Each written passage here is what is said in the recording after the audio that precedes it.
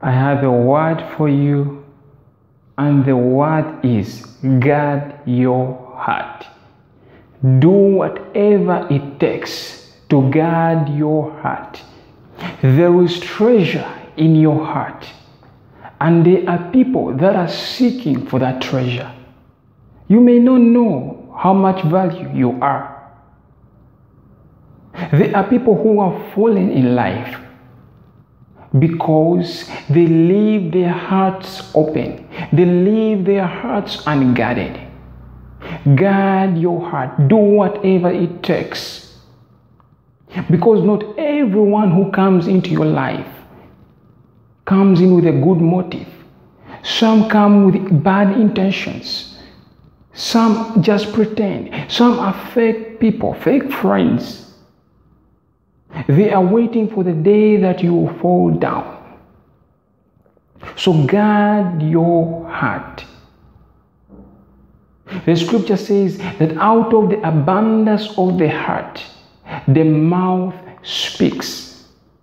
So if you want to know what is deep inside someone's heart, give him a chance to speak.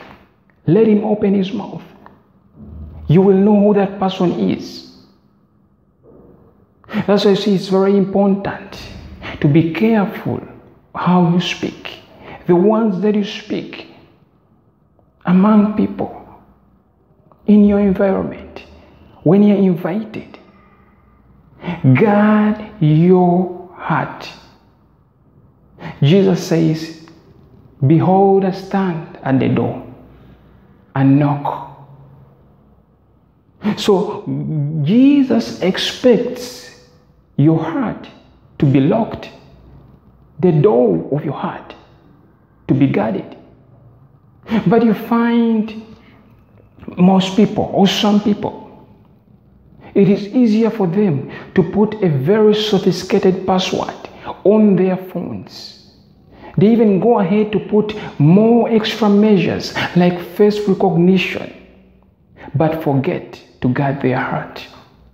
They forget to guard that which is precious to them.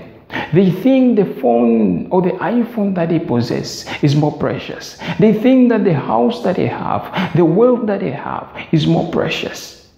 Not knowing that the issues of life come forth from your heart.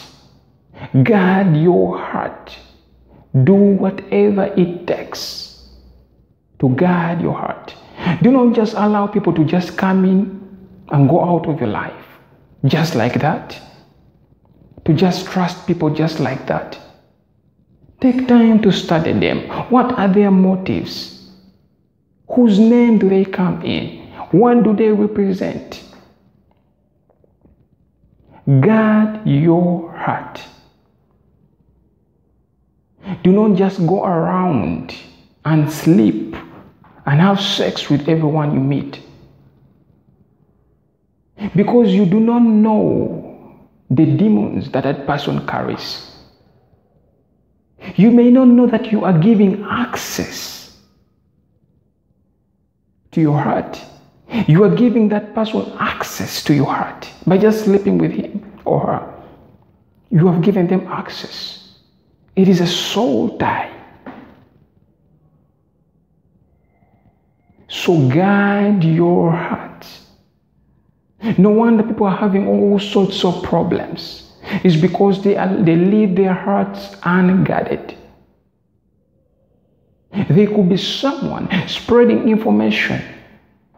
And you're wondering, I just told someone this thing, but I had it with someone else. It's because you have given that person access to your heart. And that person probably does not value you. You may love that person, but that person has different motives. They misuse the, thing that you placed in them, your friendship. So guard your heart. Do not stumble on small things. Do not fall down just because of something that is very little. If you see there is something that will cause you to stumble, cut it off. No matter how much you love it, cut it off. If it is information that is causing you to stumble, cut the source of that information. Because the more you feed on it, the more you feed on that person, the more you depend on that person, the more you will be destroyed. Your soul is valuable. So guard your heart, brothers and sisters.